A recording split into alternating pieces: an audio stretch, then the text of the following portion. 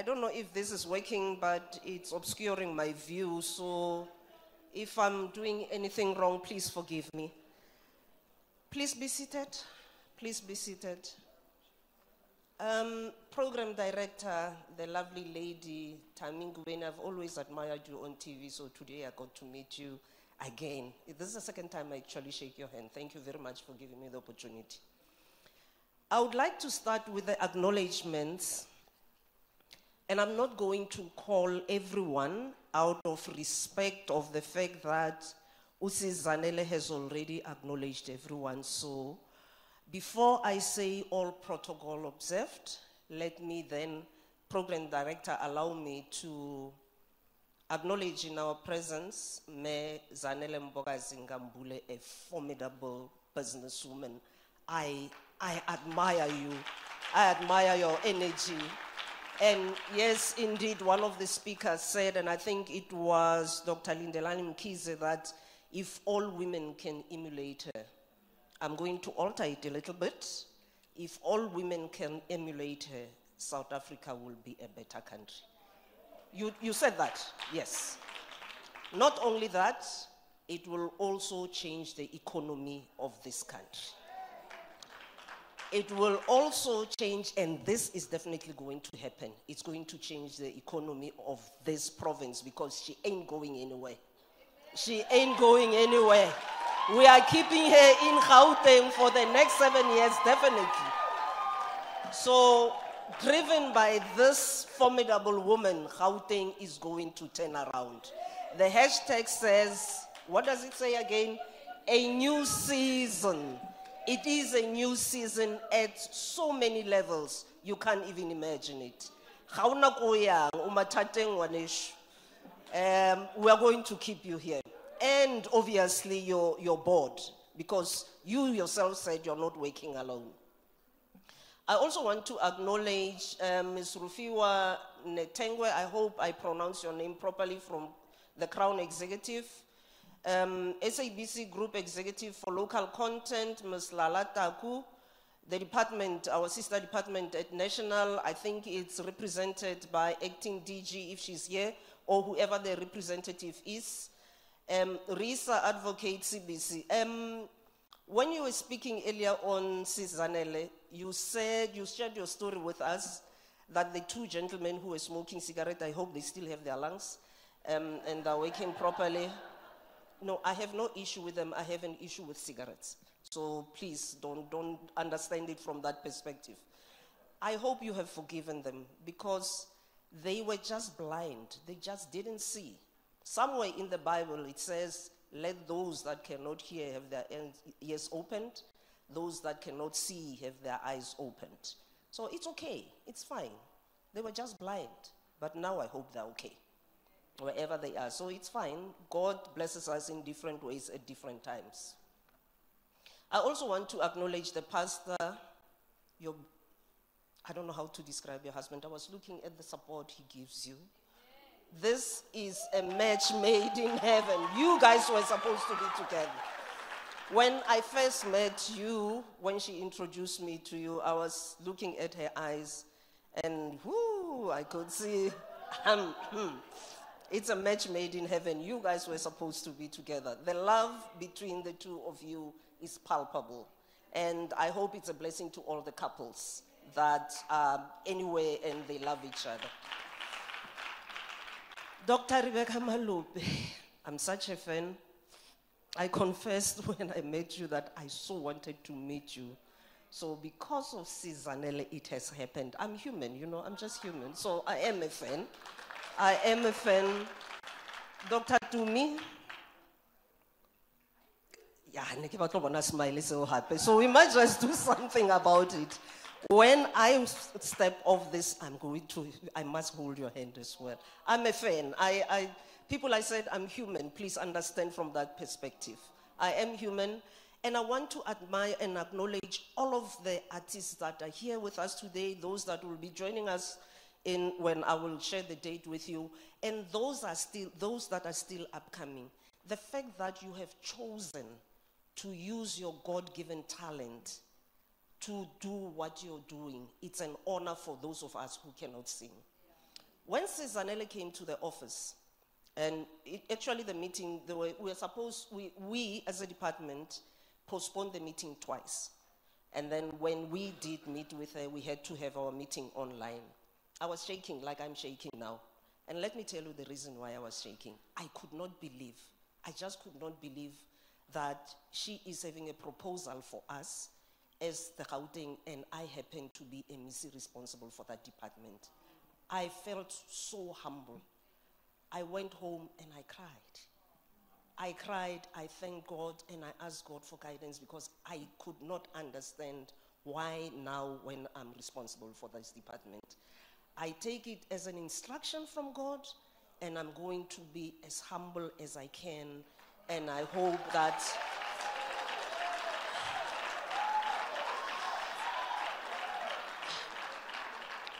It, it could have been anyone. It could have been anyone. But God's decisions are His decisions, God's ways are His ways, they are not our ways.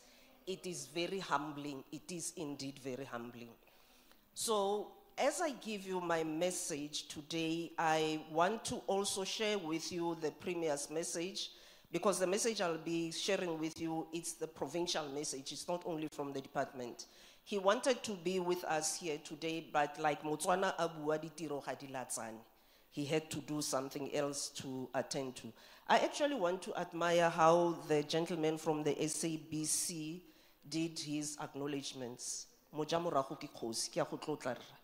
That's how acknowledgements are supposed to be done in Africa. We, you say your message, and when you're done, you do your acknowledgements. That's proper protocol, the African way. So, yeah, honestly, so anybody who knows what I'm talking about, remember one of our responsibilities as a department is culture. Ne? So those things we study and we make sure that we understand. So maybe you don't realize what you have done. So let me also acknowledge all of the esteemed guests that we have, the members of the media, our partners who respect you.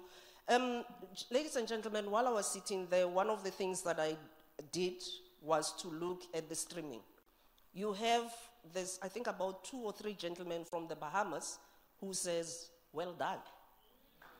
There are many people from the continent. I, I, I was counting and I stopped.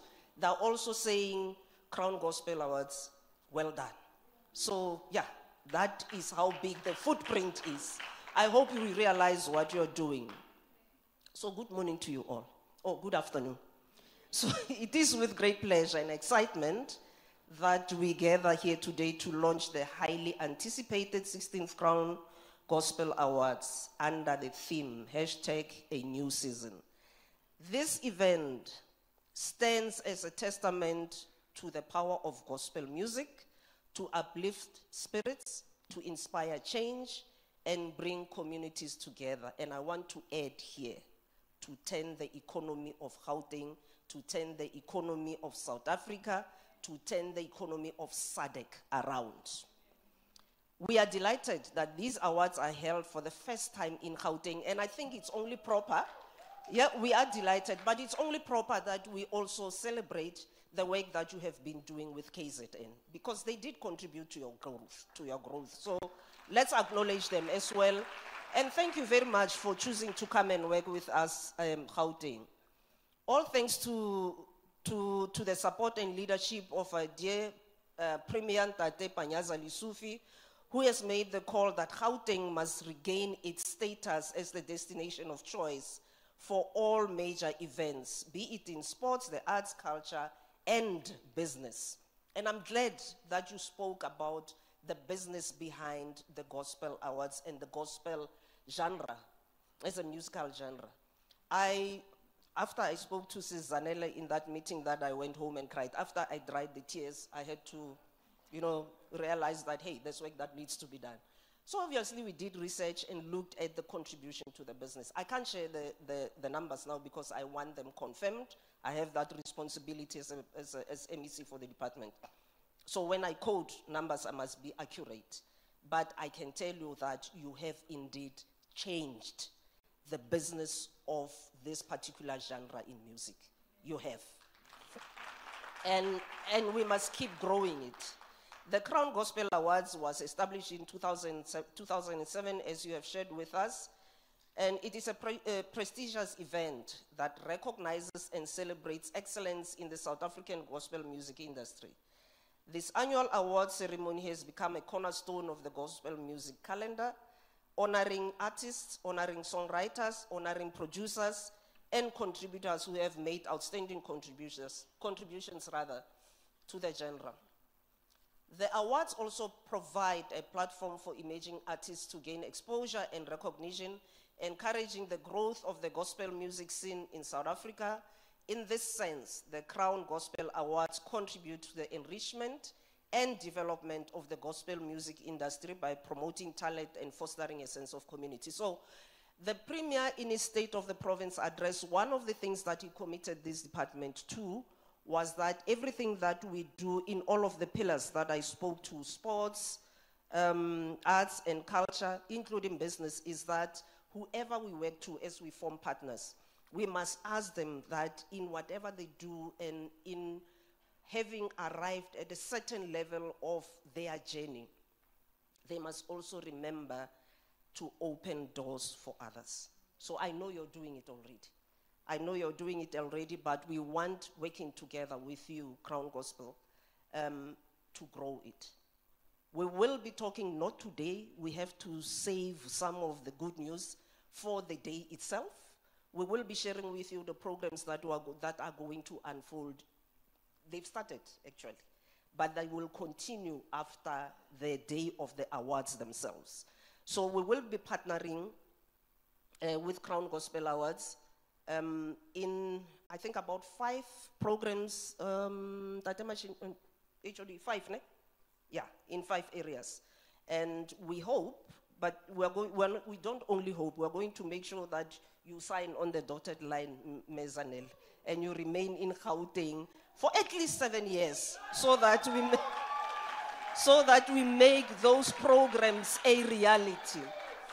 So, all the opening acts that will be perf- performing on the day of the awards themselves, we will be making sure that they are signed up with some of the music houses. We will make it our responsibility that we walk that journey with you so that we give all of these young people an opportunity to experience what you are experiencing. Gospel music, with its rich melodies and heartfelt lyrics, Dr. Tumi, you spoke to that, has the unique ability to touch our souls and transcend boundaries. It is a genre that speaks to the core of our humanity. Again, I want to thank uh, Mayor Zanele by speaking to the fact that the moral regeneration movement must be brought back and there isn't any other platform that can do that with us in Gauteng except what we are launching today. So that in, you know, in an essence, I'm telling you one of the programs, the moral regeneration, and we are going to make sure that we work this, uh, we work this journey with you. It is a genre that, um, oh, I, I spoke to that, uh, that is at the core of our humanity, offering messages of hope, messages of faith, and messages of love. As we launch the Crown Gospel Awards, we are not just celebrating music, we are celebrating a universal language that unites all people. This year's awards promise to be a spectacular showcase of talent, of passion, and dedication. Our gospel artists have poured their hearts and souls into their craft, creating music that resonates with people from all walks of life. These artists are not just performers, they are messengers of positivity and agents of change. As we embark on this journey towards the Crown Gospel Awards, let us take a moment to reflect on the profound impact that gospel music has had on our lives. It has the power to heal, it has the power to console, it has the power to inspire us to become better versions of ourselves. Through this event, we celebrate the artists who dedicate themselves to creating music that speaks to the depth of our emotions and the heights of our aspirations. I would like to extend my gratitude to the team that has worked tirelessly behind the scenes to bring the Crown Gospel Music um, uh, Media Launch Awards to life. Your dedication and passion are the driving forces behind the remarkable events. Let me share this with you. Nebankopisa tlhogo ne. Nebasantobat, but for a good cause. I'm not complaining, I'm just sharing with you. I'm also demonstrating to you their dedication to perfection. So they made sure that they keep advising, and we even had a meeting this morning. it- was supposed to be at six o'clock. No, I moved it to nine o'clock because I, I wanted to make sure that I will be able to understand what they're saying. That is the level of dedication that this, this team had. They wanted to make sure that this becomes an excellent event. To the media representatives present here today, I encourage you to help us spread the word about the, the Crown Gospel Awards 2023. And like I said, it's going to go beyond this. Seven years in the making. Your support plays a vital role in ensuring that the world recognizes the importance of gospel music and its impact on our lives. So I was asked to share the date with you. It will be on a Sunday, and it will be on the 26th of November, and it will be. I'm also sharing the venue with you. It will be in Soweto. Okay, I'm not quite sure what the excitement is about, but for me, we appreciate that.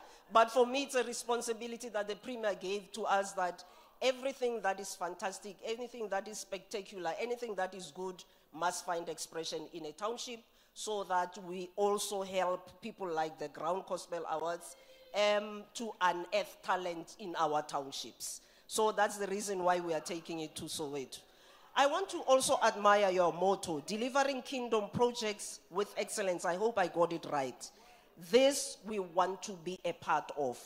This is a motto that would inspire any person who thinks properly in their head. So, thank you for sharing the motto with us. We will be part of it. So, in conclusion, let us look forward to an unforgettable um, celebration. Let us look forward to unity and let us look forward to inspiration at the Crown Gospel Awards.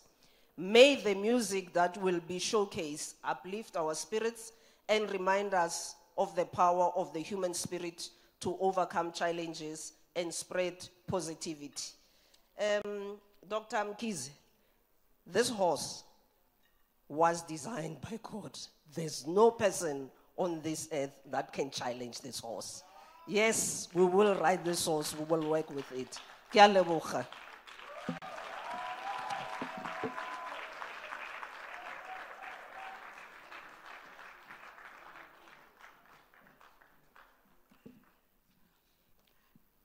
Did you hear? Did you hear? The Crown Gospel Music Awards are moving from the warm Indian Ocean of Durban to the land of gold, Gauteng, for the very first time after 15 years. Ladies and gentlemen, let's officially hand over the crown to the MEC. Like we do at the crowns, we have our one of our crown angels who's going to do exactly that.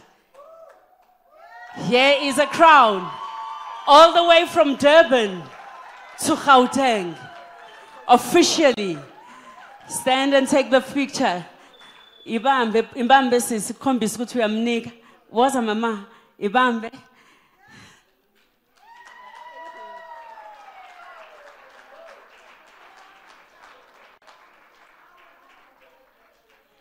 May I please invite our lifetime achievers that are in the house to come and join this moment. Please, our lifetime achievers that are in the house, ngicela beze. Makhabane ngiyakubona. Woza.